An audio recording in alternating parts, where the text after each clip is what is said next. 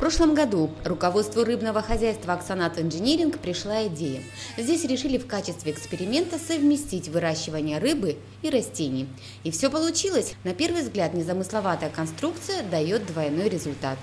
В лотке для выращивания салатов или клубники делаются отверстия и вставляется вот такой простой стаканчик, который наполняется ватой. Вот здесь даже есть корни, уже отмерзшие от собранного салатика.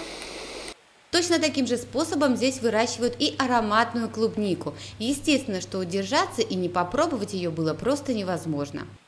Вот в этом помещении круглый год можно найти спелую клубничку.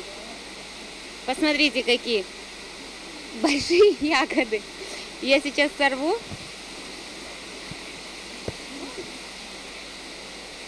А вы не позавидуете.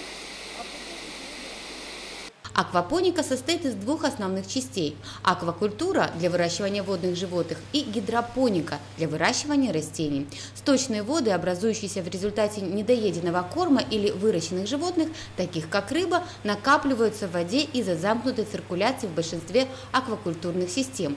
Богатая стоками вода становится токсичной для водных животных при большой концентрации, но в то же время содержит питательные вещества, необходимые для роста растений. Вода поступает с бассейна непосредственно в барабанный фильтр. Барабанного фильтра она выходит в биофильтры. Биофильтры, в них есть некоторые бактерии, которые очищают воду. Процесс устройства замкнутого водоснабжения круглосуточный и отметим, что вода, пройдя все этапы, очищается на 90% и вновь поступает в резервуары с осетром, а значит и растениям. К слову, урожай здесь собирают практически круглый год. Урожай дает два раза, два раза в год.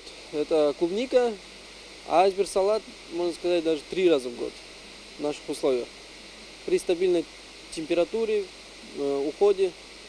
Сегодня на предприятии готовится к запуску второго контура и малькового цеха.